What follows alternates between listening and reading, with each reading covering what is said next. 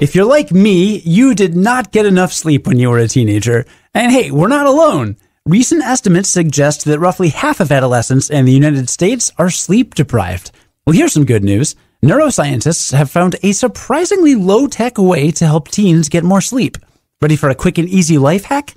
Ashley, would this have helped you in high school, or have you always been super responsible and healthy? Oh no, I used to go to sleep super late. And actually, the worst time for me was like early college. College. Yeah, like right after leaving the nest, you know, 18, 19, just like, oh, I could stay up all night. 4 a.m. Cool. I have an 8 a.m. class, but no big deal. Well, as a music major, you also had to practice all yeah. the time. Yeah, for sure.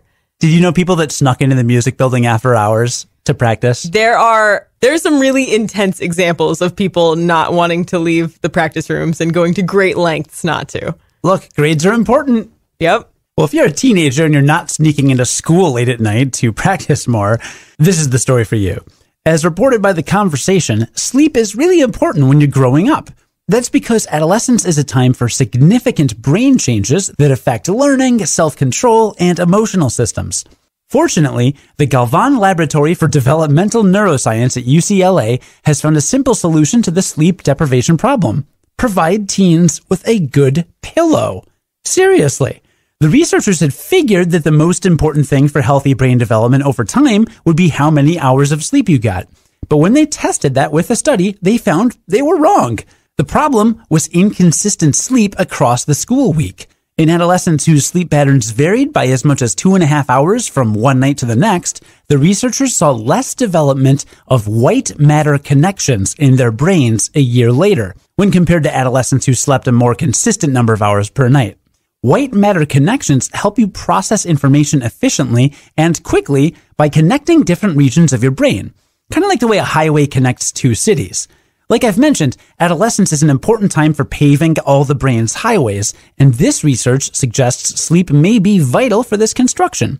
So, what are the primary sleep ingredients that contribute to healthy brain development? The lab designed a study to investigate. They used wristwatch like monitors called actigraphs to track the sleep quality of high schoolers across Los Angeles aged 14 to 18.